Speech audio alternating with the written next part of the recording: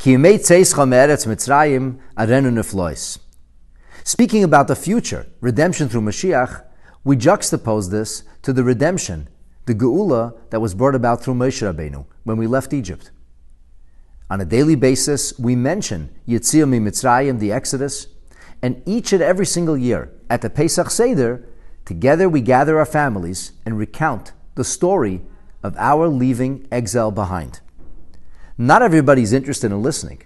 In fact, the Torah clearly identifies a child who it calls wicked, who is disinterested in participating. He says, Moha Aveda Hazais. What is this Aveda? Why do you do this? He says, Lochem, It's for you people. The loy loy. He takes himself out of that klal, of that rule. And because he does so, the Haggadah states, kafar be'ikr. He denies the very essence of his Yiddishkeit. The Baal Haggadah continues, and he says, You should tell that child. Ilu hayasham, had he been there, lo nigal, he would not have been redeemed.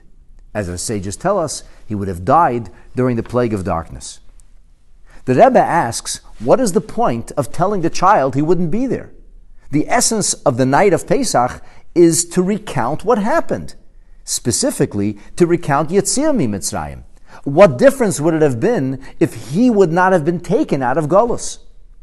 The answer that Rebbe maintains is because we are not trying to put the rasha down, but rather inspire him. We want him to know that prior to Matan Torah, he would never have been able to come along.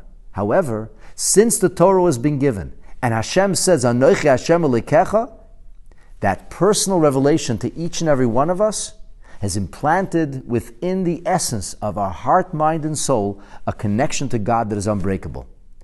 Last time, not every Jew left. When Mashiach will come, each and every member of Am Yisrael will participate, for no Jew will be left behind.